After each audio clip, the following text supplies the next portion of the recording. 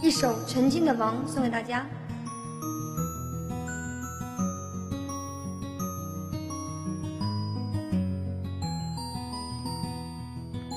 Go。他曾是个王者，后来说声算了，拱手让位，兵马大权还让别人攥着。他从不与人纷争，他早已看淡输赢，如今脸上比以往多了几分沧桑。他曾经年少轻狂，为了江山疯狂，为了称王，多少年来只有钢刀陪在身旁。当血流成不止，战争仍未停止，身旁兄弟胆将或征战而死。他得到的江山，放弃多少他最清楚，但已选择玩落，哪还后退的路？